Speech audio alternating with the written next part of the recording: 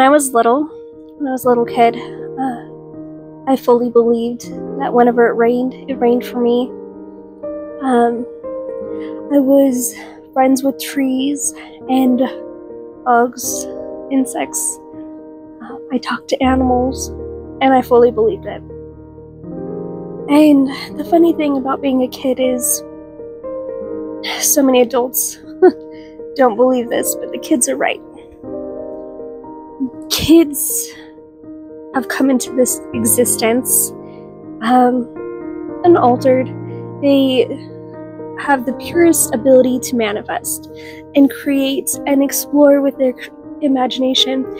And so I'm just here to remind you that underneath all those layers of adulting and responsibilities that have been placed upon you by society um, and other people, um, limiting beliefs that you've been fed since you were a child, underneath all of that is your little kid who has the purest ability to manifest anything that you want and anything that you desire.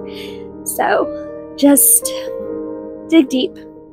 Find your inner child, channel your inner, inner child and your imagination, and just believe because kids are magnificent believers, they're magnificent at imagination, and so are you. You just forgotten.